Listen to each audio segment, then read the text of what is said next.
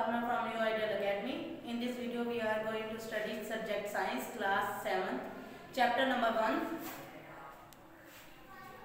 Chapter number one name है जी human organ system इंसानी organ system question number five है हमारा describe the human respiratory system इंसानी respiratory system ध्यान करें respiratory system all living thing need energy to move and grow they get energy by breaking down food substance तमाम जानवरों को हरकत कर, हरकत और बढ़ने के लिए एनर्जी की ज़रूरत होती है वो खुराक को तोड़कर एनर्जी हासिल करते हैं। उसके बाद सबसे पहले हमारे क्या आ जाता है कि हमने डिफाइन ब्रीथिंग यानी सांस लेना क्या है? सांस लेना की तारीफ़ breathing is the process that move air in and out of lungs is called breathing सांस लेना वो अमल है जिसके दौरान हवा फेफड़ों के अंदर जाती है और बाहर आती है respiration is the process by which living organism use oxygen of air and food to produce energy respiration वो अमल है जिसके ज़रिए जानदार हवा की ऑक्सीजन और खुराक को इस्तेमाल करके एनर्जी पैदा करते हैं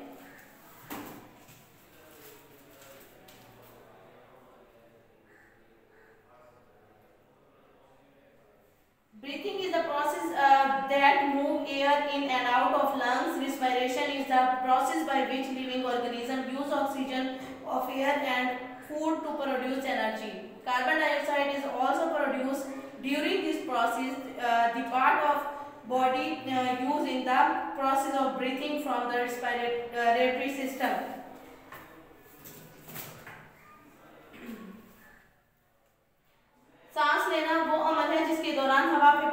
जाती है और बाहर आती है। रिस्पिरेशन वो अमल है जिसके ज़रिए जानदार हवा की ऑक्सीजन और खुराक इस्तेमाल करके एनर्जी पैदा करते हैं। इस अमल के दौरान कार्बन डाइऑक्साइड भी पैदा होती है। सांस लेने के अमल में जिसम के जो हिस्से इस्तेमाल होते हैं, उनमें सबसे पहले जो है रिस्पायरेटरी सिस्टम पार्ट हमारे हमारे रिस्पायरेटरी सिस्टम में नाक और हलक, सांस की नाली यानी ट्रैकिया, तनफुस के असरात और फेफड़े शामिल हैं।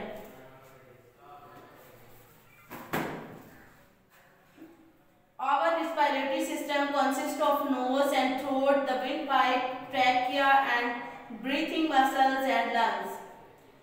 Nose and throat. The air enters through, uh, throughout our nose or mouth. Our nose has hair and mucus to clean, uh, moisten and uh, warm the air. Mucus is uh, sticky liquid, dust particles and germ uh, present in the air stick to, uh, to mucus.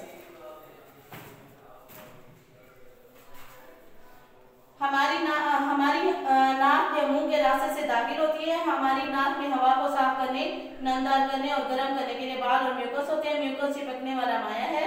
हवा में मौजूद जरासीम और गर्द गुबार के जरात mucus से चिमक जाते हैं।